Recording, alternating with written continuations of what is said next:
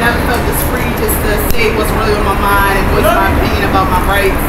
And I just feel like that everybody behind me and our co-workers that we can get the job done. So Charles. Can you see? Okay. Our co-workers, some, not all of our co-workers made the strike, but word on the street is that uh, the managers are running amok. Nobody